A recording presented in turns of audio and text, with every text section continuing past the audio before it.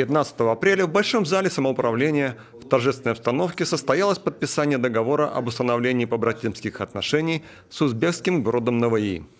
Договор подписали мэр города Наваи Мухиддин Базаров и мэр Висагинеса Эрландас Галагус. В этом мероприятии приняли участие гости из Узбекистана, в числе которых посол Узбекистана в Литве Кадамбай Султанов – представители администрации Висагинского самоуправления, а также представители узбекской диаспоры Висагинеса и те, кто приехал в свое время на строительство ИАЭС из далекого Узбекистана. Подписание договора было встречено висагинцами с большим воодушевлением. И это неудивительно, ведь многие из тех молодых специалистов, которые приехали на большую стройку из Узбекистана, до сих пор считают Наваи своим родным городом. Подписание договора с Наваи было долгожданным событием, ведь решение о сотрудничестве с ним было принято еще два года назад. Вы правы, что очень долгожданный договор, потому что решение принято о сотрудничестве, наверное, уже около двух лет назад. Но из-за того, что ковид и другие какие-то препятствия от нас не мы не смогли э, раньше подписать такой договор. Но тем не менее, свершилось. Свершилось, мы подписали договор э, о сотрудничестве с нашим э, городом, сейчас уже побратимым, э, городом Наваи, страна Узбекистан. И я знаю, насколько это важно, насколько это важно для наших, для наших висагинцев, которые много лет этого ждали, которые сейчас даже со слезами смотрят на свой родной город, независимо, они узбеки или они э, другой национальности, но родом оттуда. Конечно, наши города э, не равны по количеству населения, конечно, не равны по развитости промышленности и так далее. Но это не говорит о э, меньшем желании сотрудничества. Наше желание сотрудничать ничуть не меньше, чем нашем, у нашего города побратимого. После подписания договора стороны традиционно обменялись памятными подарками и сувенирами. Подарки наших узбекских гостей были не стандартно европейскими, а по-восточному щедрыми. Мы, наверное, северные народы так не привыкли, но такое, скажем так, тепло сеяло, как будто вот действительно э, повеяло южным солнцем здесь у нас в зале. Это было ну, очень-очень трогательно.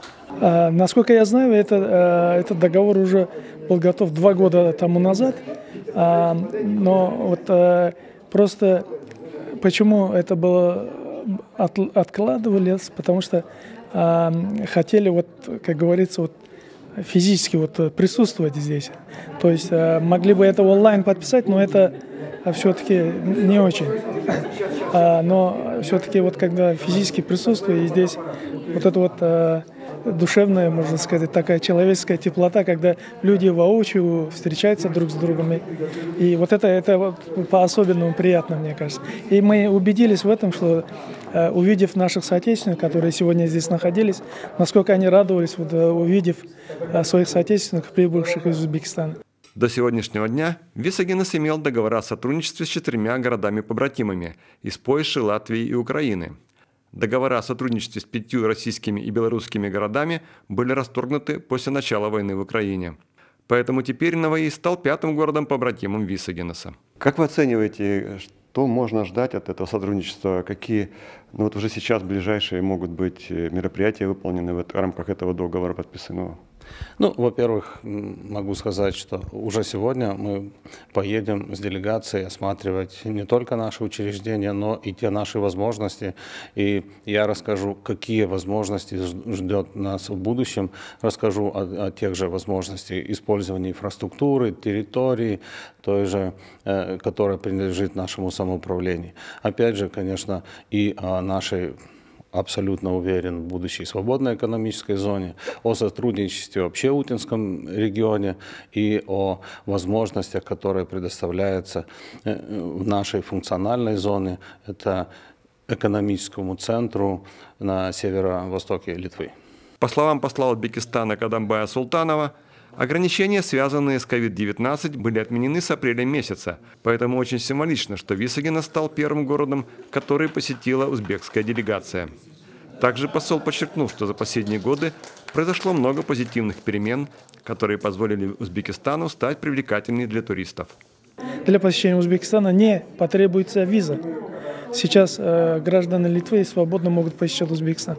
Я думаю, это это хорошая возможность для того, чтобы вот э, после вот снятия вот этих ограничений в Литве, в принципе, можно уже э, осуществлять такие поездки уже личные. Приглашаете? Приглашаем. а? Обязательно посещайте Узбекистан. А, Узбекистан динамично меняется. А, на, за последние годы а, много было сделано под руководством нашего президента. В Узбекистане происходит динамичная трансформация.